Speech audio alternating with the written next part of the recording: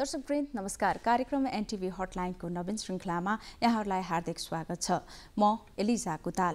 दर्शकवृन्द सामाजिक सेवा प्रवाहमा देखिएका तमाम व्यतिथिहरूप्रति यहाँहरूले नै राख्नुभएको चासो गुनासो र जिज्ञासाको शीघ्र सरोकारवाला निकायसम्म पुर्याउनका लागि हामी मध्यस्थकर्ताको भूमिका निर्वाह गर्दै आइरहेका छौँ। आज पनि यिनै समसामयिक विषयवस्तुका साथ उपस्थित भइसकेका छौँ। विषयवस्तुमा प्रवेश गर्नुभन्दा पहिला तपाईँले नै सम्पर्क गर्ने सम्पर्क माध्यम प्रस्तुत गर्दछौँ। कार्यक्रम एनटिभी हटलाइनमा तपाईँका सार्वजनिक चासो गुनासो र समस्याका विषयहरू हामीलाई पछाउनका लागि सम्पर्क माध्यमहरू।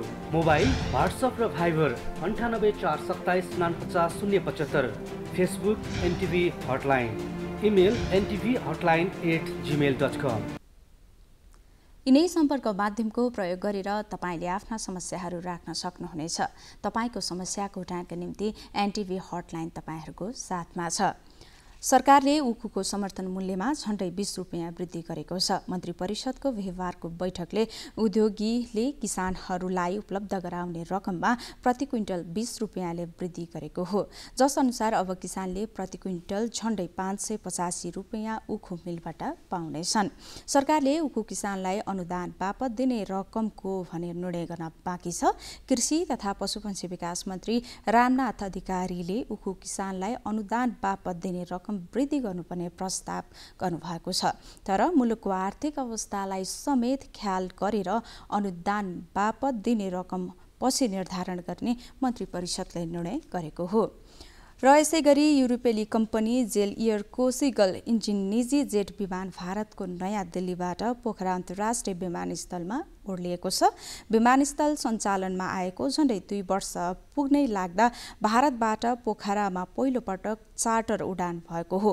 विमानस्थलकी प्रवक्ता यशोदा जोशीका अनुसार चालक दलका सदस्यसहित चार यात्रु लिएर विमान बिहिबार साँझ पाँच पचास बजी पोखरा विमानस्थलमा अवतरण गरेको हो।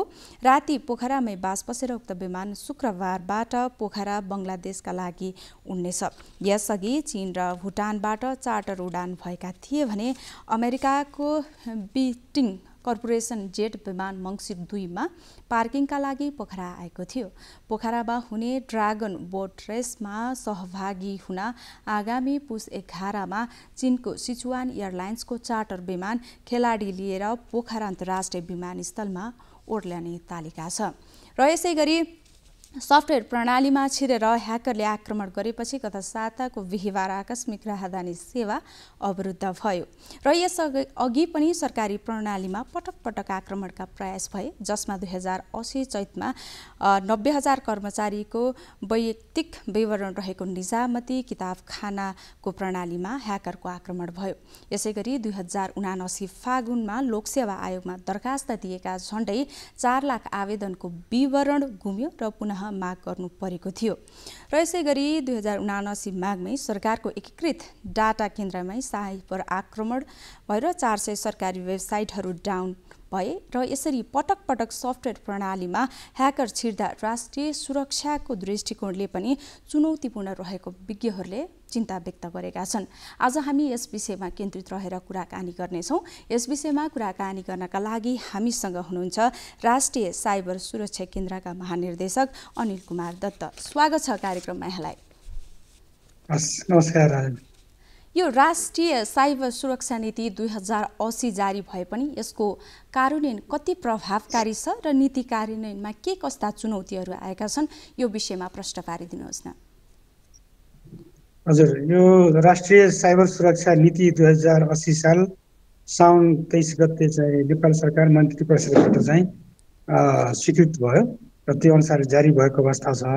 र त्यो नीति अनुसार नै हामीले राष्ट्रिय साइबर सुरक्षा केन्द्र स्थापना गऱ्यौँ यो चाहिँ दुई हजार अस्सी माघ नौ गतिको निर्णयअनुसार मन्त्री परिषदको निर्णयअनुसार स्थापित भएको हो।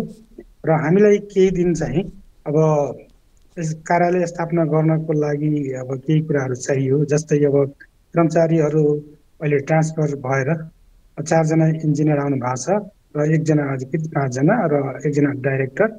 र म चाहिँ मन्त्रालय पनि हेरिरहेको छु र मन्त्रालयबाट थप जिम्मेवारीमा त्यहाँ पनि हेरिरहेको अवस्था छ। ओएनएम नै ओएनएममा नै त्यस्तो कुरा राखेको थियो।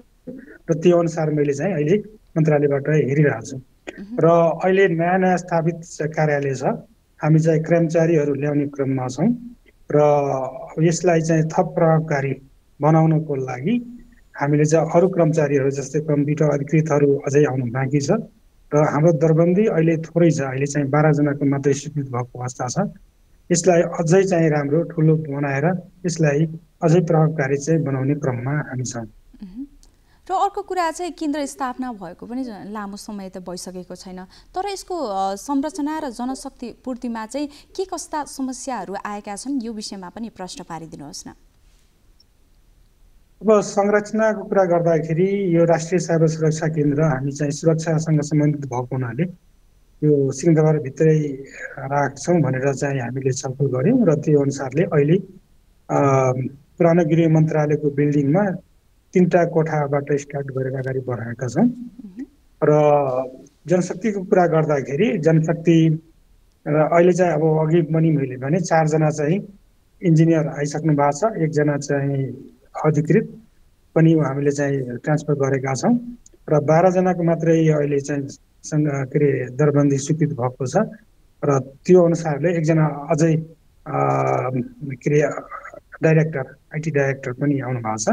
जसले गर्दाखेरि छ सातजनाको मात्रै हामी छौँ र कम्प्युटर अधिकृतहरू पनि सरुवा भए पनि टोटल चाहिँ बाह्रजनाको जनशक्ति हुन्छ। अहिले थोरैबाट सञ्चालन गरेका छौँ र बिस्तारै चाहिँ यसलाई थप चाहिँ जनशक्तिहरू ल्याएर मिक्स मोडलमा पनि यसलाई सञ्चालन गर्छौँ।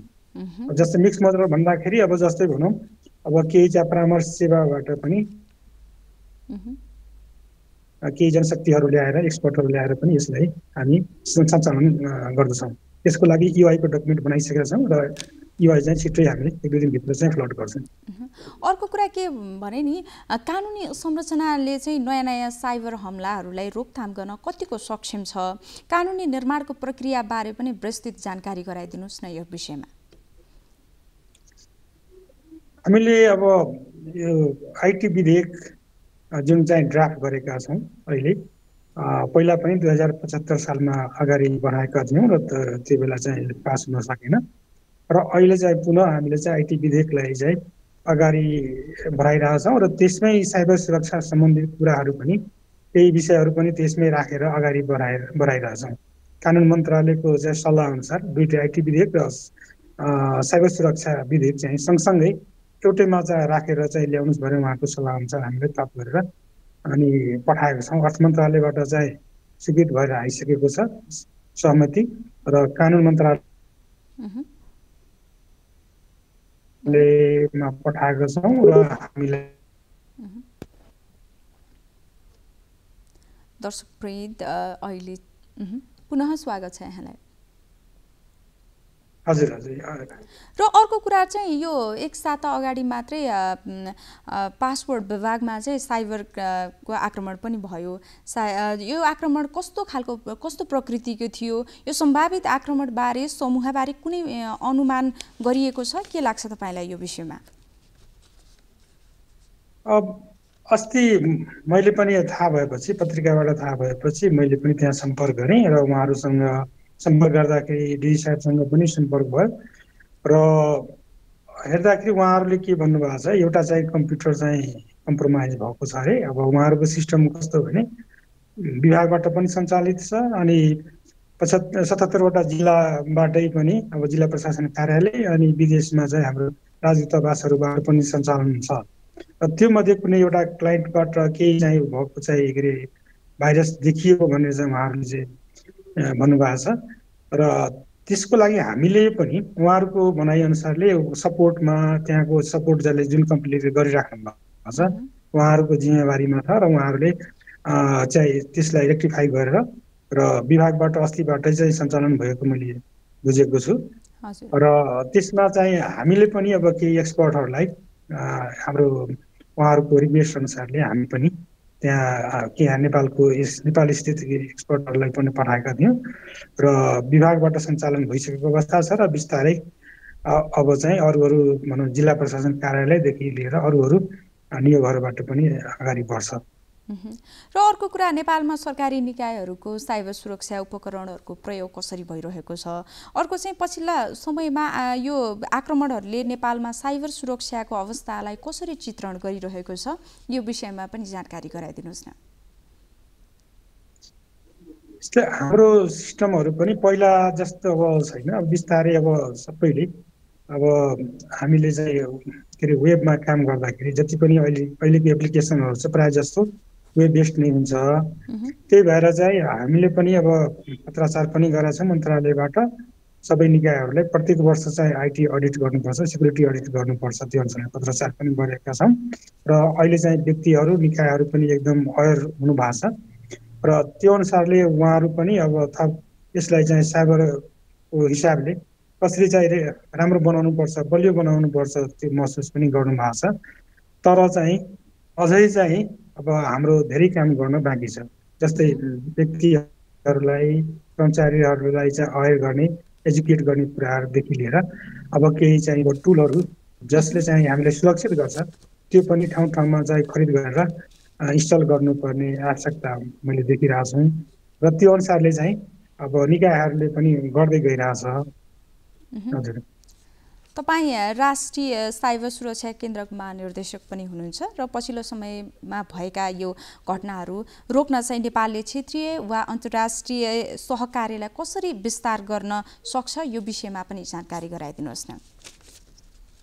यसमा हाम्रो एउटा टर्ट छ भन्छ हामी यो राष्ट्रिय अहिले चाहिँ सर्ट जस्तो भन्छ नि हामी कम्प्युटर इमर्जेन्सी रिस्पोन्स टिम। त्यसको आज पनि अहिले भर्खर हामीले बैठक बसेका थियौँ।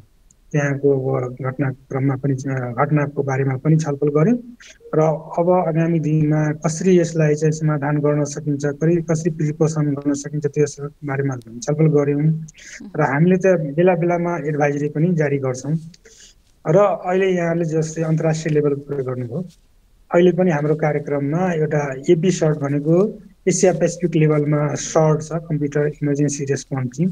उहाँहरूसँग आबद्ध गर्नको लागि कार्यक्रम पनि छ। हामी त्यसको लागि प्रोसेस हामी अगाडि बढाएका छौँ। र त्यसमा रेकमेन्डेसन चाहिँ एउटा कन्ट्रीको चाहिन्छ। त्यसको लागि हाम्रो स्वीकृति चाहिँ बङ्गलादेशको आइसकेको छ। र हामी उहाँहरूसँग आबद्ध भएपछि हामीले अब अर्को आगामी दिनमा उहाँहरूकोबाट पनि हामी एसिया पेसिफिक लेभलबाट पनि सहयोगहरू पाउँछौँ। त्यो बाहेक अर्को चाहिँ फर्स्ट छ एफआइआरएसटी भनेको यो इन्टरनेसनल लेभलको सर्ट हो यो। अनि त्योसँग पनि हामी आबद्ध हुन्छौँ। र पछि गएर चाहिँ वर्ल्ड लेभलमा पनि हामीलाई चाहिँ सहयोग प्राप्त हुन्छ र सहकार्य पनि प्राप्त हुन्छ। हस् धन्यवाद महत्त्वपूर्ण समय र जानकारीका लागि यहाँलाई। हस् धन्यवाद यहाँलाई पनि। हस् धन्यवाद। दर्शक वृन्द ह्याकरको पहुँचमा महत्त्वपूर्ण सरकारी प्रणाली चाहिँ पुगेको छ र सफ्टवेयर पुगेको भन्ने खालको चाहिँ चिन्ता व्यक्त गरिरहेका बेला हामीले यस विषयमा सम्बन्धित व्यक्ति र राष्ट्रिय साइबर सुरक्षा केन्द्रका महानिर्देशक अनिल कुमार दत्तसँग कुराकानी गरेका थियौँ। समाजमा रहेका विकृति विसङ्गति अनियमितता ढिलासुस्ती र सार्वजनिक सेवा प्रवाहमा देखिएका समस्याहरूसँगै जनताका चासो र गुनासोहरूमा हाम्रो गहिरो निगरानी। सेवा प्रवाहलाई पारदर्शी र जवाबदेही बनाउँदै सुशासनका लागि हाम्रो प्रयास। कार्यक्रम एमटिभी हटलाइन। हरेक दिन आइतबारदेखि शुक्रबारसम्म दिउँसो बाह्र पच्चिस बजे मात्र नेपाल टेलिभिजनमा। एक अध्ययनमा देशका पाँच सयभन्दा धेरै क्याम्पसमा विद्यार्थीको अभाव देखिएको छ र विश्वविद्यालय अनुदान आयोगले एक साता अघि तयार पारेको प्रतिवेदन अनुसार एक सयभन्दा थोरै विद्यार्थी रहेका देशभरका सबै विश्वविद्यालय माथतमा पाँच सय पाँचवटा क्याम्पस छन्। देशभरका कुल एक्काइस विश्वविद्यालय छन् र तीमध्ये चौध विश्वविद्यालय माथतमा चलेका सामुदायिक र आङ्गिक क्याम्पसमा पछिल्लो समय विद्यार्थीको सङ्ख्या असाध्यै न्यून हुँदै गएको छ। खास गरेर कक्षा बाह्रको पढाइपछि विदेशी विद्यार्थीको सङ्ख्या बढ्दै जाँदा यसको असर नेपालको क्याम्पसहरूमा देखिएको हो र आयोगले यी क्याम्पस गाभ्न वा बन्द गर्न विश्वविद्यालयलाई सुझाव समेत दिएको छ र आज हामी यस विषयमा केन्द्रित रहेर कुराकानी गर्नेछौँ र यस विषयमा कुराकानी गर्नका लागि हामीसँग हुनुहुन्छ शिक्षाविद बालकृ बालचन्द्र लुइटेल। स्वागत छ कार्यक्रममा यहाँलाई। नमस्कार। र अहिले विद्यार्थीहरूको अभाव भएको र कति क्याम्पसहरूमा चाहिँ विद्यार्थीको अभावले चाहिँ बन्दै गर्नुपर्ने र मर्ज गर्ने अवस्था आएको भन्ने खालको गुनासोहरू प्राप्त भएको छ। यो विषयमा चाहिँ प्रष्ट जानकारी गराइदिनुहोस् न। हजुर यहाँ खास गरी हाम्रो अहिले जुन विद्यार्थीहरू विभिन्न सामुदायिक भनौँ अथवा आङ्गिक क्याम्पसहरूमा विद्यार्थी कम हुने खास गरी विश्वविद्यालय खास गरी त्रिभुवन विश्वविद्यालय र केही अरू विश्वविद्यालयको पनि भन्ने जुन प्रश्न छ त्यसमा अब मूलत समस्या भनेको चाहिँ विद्यार्थीहरूको आकाङ्क्षा अनुरूप अब विश्वविद्यालयहरूले त्यो खालको जनशक्ति त्यो खालको वातावरण जनशक्ति दिन नसक्नु त्यो खालको पढाउन सक्ने प्राध्यापकहरू एकातिर नआउनु हो भने अर्कोतिर चाहिँ त्यो खालको इन्फ्रास्ट्रक्चर भनौँ न त्यो पनि नआउनु हो। त्यसले गर्दाखेरि हाम्रो आकाङ्क्षा बढ्यो हाम्रो विद्यार्थी भाइ बहिनीहरूको आकाङ्क्षा बढ्यो। हामीले त्यो अनुसार गर्न सकेनौँ। एकातिर करिकुलममा पनि त्यो डाइभर्सिफाई गर्न सकेनौँ विविधता ल्याउन सकेनौँ भने अर्कोतिर उचित जनशक्तिको पनि हामीले व्यवस्था गर्न सकेनौँ। र यो दुइटाको बिचमा अब के भयो भन्दा विश्वविद्यालय नेपाली विश्वविद्यालय नेपाली क्याम्पसहरू गाउँका क्याम्पस छोडेर सहरतिर र सहरतिर छन् भने उनीहरू क्रमशः विदेशतिर जाने यो खालको परिस्थिति चाहिँ सिर्जना हुँदै गयो र अर्को कुरा चाहिँ विशेष गरी कक्षा बाह्र पछि चाहिँ विदेशी प्रवृत्ति चाहिँ निकै बढ्दो छ। र शैक्षिक प्रणाली वा पाठ्यक्रमसँगै समस्याको अन्य कारणहरू पनि छ? के लाग्छ तपाईँलाई? यो विषयमा पनि प्रश्न पारिदिनुहोस्। होइन। यस्तो छ। अब खास गरी विद्यार्थीहरू बाहिर जाने यी दुईवटा मुख्य कारण हुन्। मूल कारण चाहिँ हाम्रो आन्तरिकै मान्नुपर्छ तर केही बाह्य कारण पनि छन्। बाह्य कारण चाहिँ के हो भन्दाखेरि यो इन्टरनेटको एक्सेस पछि सबैतिर हाम्रो नेपाली विद्यार्थीहरूले सबैतिर के कस्ता चाहिँ भनौँ न पढाइ हुन्छ अरू अरू देशमा के कस्तो पढाइ हुन्छ के कसरी हामीले जान सक्छौँ अलिकति एक्सेस पनि सजिलो भइदियो। इन्टरनेसनल जुन इन्स्टिट्युसन्सहरूको एक्सेस पनि इन्स्टिट्युसन्सको एक्सेस पनि हेर्नु सजिलो भइदियो।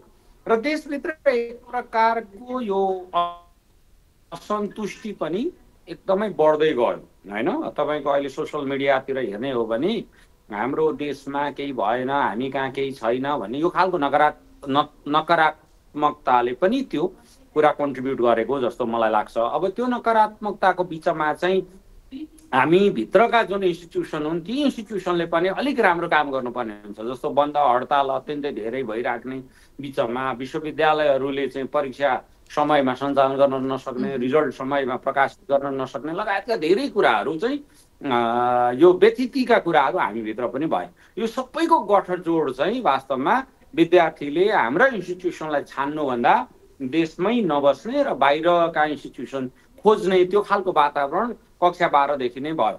त्यसमाथि अर्को जुन पुस फ्याक्टरमा अर्को कुरा चाहिँ हाम्रा कन्सल्टेन्सी सबैतिर अभाइलेबल भयो। अहिले त कतिपय ठाउँमा त घर घरै जाने इन्स्टिट्युसन इन्स्टिट्युसनमा जाने र नेपालमा सबै चिज बिग्रिया छ राम्रो छैन विदेशै जानुपर्छ भनेर प्रचार प्रसार गर्ने। यो पनि अर्को कारण हो भन्ने सहायक कारण हो भन्ने मलाई लाग्छ। तपाईँ शिक्षाविद हुनुहुन्छ र यति बेला चाहिँ झन्डै पाँच सय क्याम्पसमा विद्यार्थीको अभाव भएको विषयमा केन्द्रित रहेर हामीले कुरा गरिरहँदा विद्यार्थीलाई देशमै अध्ययन गर्न आकर्षित गर्नका लागि के कस्ता उपायहरू अवलम्बन गर्न सकिन्छ यो विषयमा पनि जानकारी गराइदिनुहोस् न।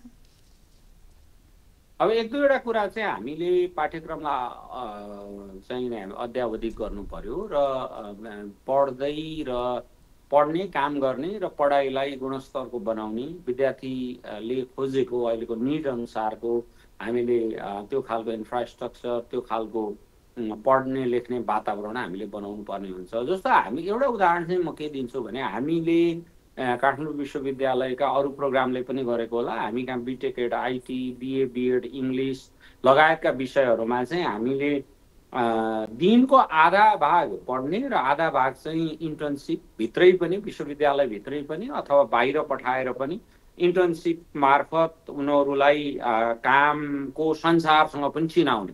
त्यो काम अहिले हामीले गरिराखेका छौँ। त्यसो गर्दा हामीलाई के आशा छ भने अहिले हामी कहाँ राम्रै पनि भइरहेको छ विद्यार्थीको आकर्षण।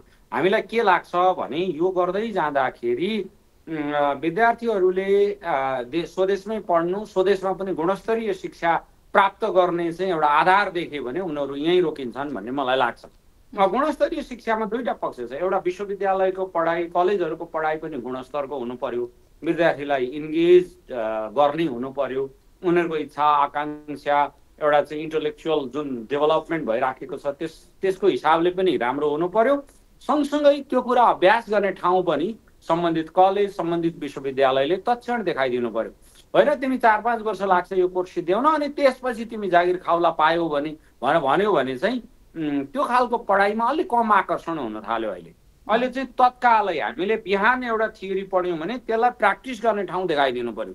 बिहान एउटा फर्मुला सिक्यौँ भने त्यसलाई प्रयोग गर्ने ठाउँ देखाइदिनु पर्यो। यो चाहिँ अहिलेको आवश्यकता पर्या आवश्यकता छ हो जस्तो लाग्छ। यसो गरियो भने हामीले स्वदेशमै विद्यार्थीहरूलाई चाहिँ इन्गेज गर्न सक्छौँ रोक्न सक्छौँ र उनीहरूलाई चाहिँ राम्रो गुणस्तरीय शिक्षा चाहिँ स्वदेशभित्रै दिन सक्छौँ भन्ने मलाई लाग्छ। र अर्को कुरा चाहिँ पाठ्यक्रमहरूको सुधार गर्नुपर्छ राम्रो चाहिँ वातावरण चाहिँ सिर्जना गर्नुपर्छ भनिरहँदाखेरि रोजगारमुखी शिक्षा र सिपमूलक कार्यक्रमको आवश्यकता कति छ? यो विषयलाई पनि एकदमै धेरै छ। हामीले त त्यो गरिराखेका छौँ। हामीले अहिले बिटेक एड आइटी भन्ने कार्यक्रम चलाएको चाहिँ अहिले हाम्रो विद्यार्थीहरू तेस्रो वर्षमा छन्। विभिन्न त्यसका विभिन्न ठाउँमा हामीले सञ्चालन गरेका छौँ। त्यसमा हामीले चाहिने इन्टर्नसिपको पार्ट एकदम इम्पोर्टेन्ट हो। उनीहरूलाई चाहिँ जब प्लेसमेन्ट बेलैदेखि गर्नुपर्छ भनेका छौँ। कतिपय ठाउँमा हामीले इन्डस्ट्रीलाई बोलाएर काम गराइराखेका छौँ। कतिपय हकमा हाम्रो विश्वविद्यालयभित्रैका विभिन्न युनिटहरूमा उनीहरूले उनीहरूको पढाइअनुसार उनीहरूले गर्न सक्ने कामहरूमा हामीले इन्गेज पनि गरेका छौँ। त्यसै गरेर अहिले नयाँ कोहोर्ट हामीले अङ्ग्रेजीको ल्याएको छौँ बिए बिएड इङ्ग्लिस भनेर। त्यसमा पनि हामी त्यही गर्दैछौँ। स्याडो टिचरको कन्सेप्टबाट आधा दिन विश्वविद्यालयमा पढ्छन्। आधा दिन भने छ घन्टा हुन्छ। त्यसपछि चार पाँच घन्टा चाहिँ सम्बन्धित शैक्षिक संस्थामा गएर त्यो पढेको कुरालाई अभ्यास गर्छन्।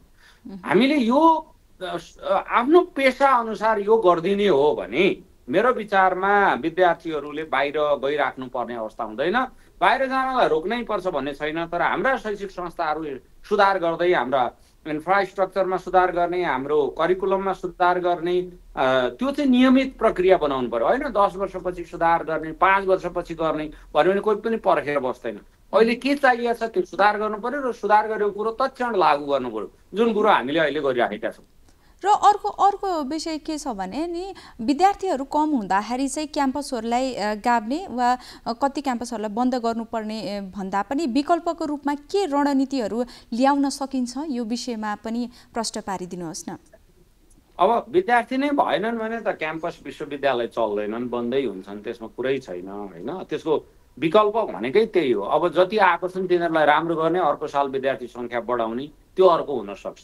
तर अब विद्यार्थी नै आएनन् भने त त्यहाँ केही विकल्पै हुँदैन। शैक्षिक संस्थाको पहिलो स्टेक होल्डर भने विद्यार्थी र अभिभावक हो। उहाँहरूको चासो नै हुन छोडिसकेपछि हामीले त्यसलाई अर्को ठाउँमा मर्च गर्ने त्यसलाई रिभ्याम गर्ने नयाँ कोर्स चलाउने कोर्स नयाँ बनाउने नयाँ ढङ्गले सोच्नु पर्छ। त्यही रूपमा त सोच सोच्न सकिँदैन। हो क्याम्पस बन्द गर्नु पर्दैन हुँदैन अथवा हामी हामीले चाहिँ यसलाई चलाउँछौँ सञ्चालन गर्छौँ भनेपछि पुरानै ढर्राबाट त सञ्चालन हुनै सक्दैन होइन?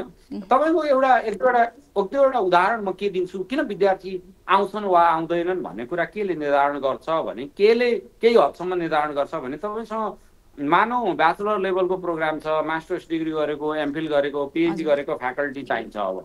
त्यो लेभलको फ्याकल्टी छैन भने पनि उसले गतिलो पढाउन सक्दैन। पहिलो त फ्याकल्टी नै चाहियो पढाउने लेक्चरर चाहियो गतिलोसँग पढाउन सक्ने ह्युमन रिसोर्स चाहियो। अब क्याम्पसमा पढाउनु कलेजमा पढाउनु भनेको रिसर्च गर्न पनि जान्नु हो। त्यो पढाउने मान्छेको क्वालिटीमा जब विद्यार्थीले डाउट गर्न सा थाल्छन् किनभने अहिले त उनीहरूले देखे नि त इन्टरनेटको अभाइलेबिलिटीले कहाँ कहाँ कस्ता कस्ता फ्याकल्टी छन् कस्तो कस्तो विषय पढ्न पाइन्छ। त त्यो त्यो त्यसको दाँजोमा हाम्रो कम्पिटेटिभनेस हाम्रो चाहिँ जुन प्रतियोगितात्मक जुन शक्ति हो त्यो कमजोर भएपछि त कसले हामीलाई पर्खिबस्छ र? त्यही भएर आफ्नो प्रतियोगि आफू प्रतियोगी हुने आफू कम्पिटेटिभ हुने चाहिँ अवस्था सिर्जना गर्नु पर्यो। त्यो सिर्जना गरियो भने हुनसक्छ होइन भने त हुन सक्दैन होइन भने बन्द गर्नुपर्छ मर्ज गर्नुपर्छ नयाँ संस्था राम्रो संस्थाहरू सञ्चालन गर्नुपर्छ पुरानो बन्द गरिदिनुपर्छ। पुरै त्यही हुन्छ। हस् धन्यवाद महत्त्वपूर्ण समय र जानकारीका लागि हामी। हस् हस् यहाँलाई पनि धेरै धेरै धन्यवाद। हस् दर्शक वृन्द पाँच सय क्याम्पसमा विद्यार्थीको अभाव रहेको विषयमा केन्द्रित रहेर आज हामीले शिक्षाविद बालचन्द्र लुइटेलसँग कुराकानी गरेका थियौँ। अब भने हामी कार्यक्रमको उत्तरार्थमा आइसकेका छौँ। कार्यक्रमबाट बिदा लिनुभन्दा पहिला तपाईँले नै सम्पर्क गर्ने सम्पर्क माध्यम प्रस्तुत गर्दछौँ। कार्यक्रम एनटिभी हटलाइनमा तपाईँका सार्वजनिक चासो गुनासो र समस्याका विषयहरू हामीलाई पछाउनका लागि सम्पर्क माध्यमहरू मोबाइल वाट्सएप र भाइबर अन्ठानब्बे चार सत्ताइस उनापचास शून्य पचहत्तर Facebook NTV hotline email NTV hotline at Gmail dot com. कार्यक्रमको निर्धारित समय सकिएको छ। भोलि पनि तपाईँहरूकै समस्याका साथ उपस्थित हुने नै छौँ। त्यति बेलासम्मका लागि नेपाल टेलिभिजन हेरिरहनुहोला। नमस्कार।